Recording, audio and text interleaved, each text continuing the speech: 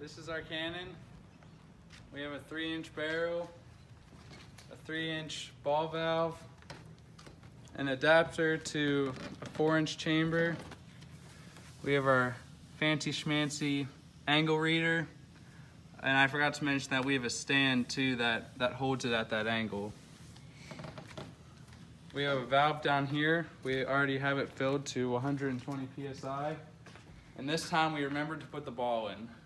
So I'll go ahead and shoot it.